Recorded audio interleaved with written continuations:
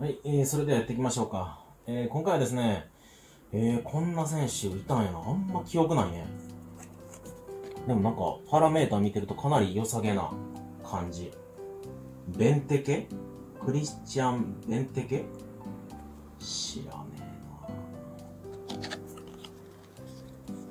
うーんと、リバプール、うん、90年生まれ、32、3か。190、やばいね、身長。フィジカルモンスターや、完全な。やばいね。こんな選手、リバプールいたんすね。もうおそらくですけど、えー、クロップが来る前の、あの、カオスの時のリバプールのストライカーってことなのかな？うーん、記憶ないね、全然。まあ、記憶がないってことは活躍してないってことかな？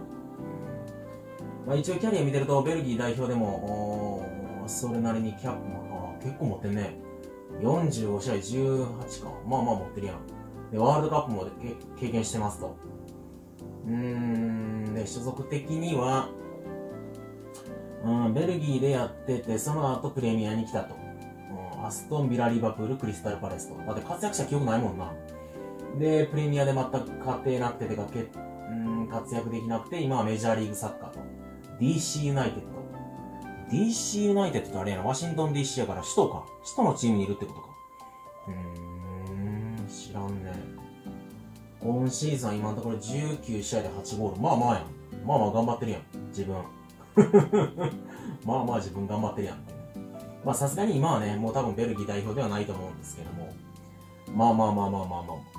でもこんだけのフィジカルモンスターだったら無双できそうやな。まあちなみに多分 J リーグ来たらあっという間に得点をなれるでしょうね。あの、昔なんか柏レイスにオルンガといたでしょ。あんな感じで絶対無双できると思うんですけどね。うん、まあ来ないでしょうね。はい、えー、っていう感じでね、えー、懐かしの、巨人でした。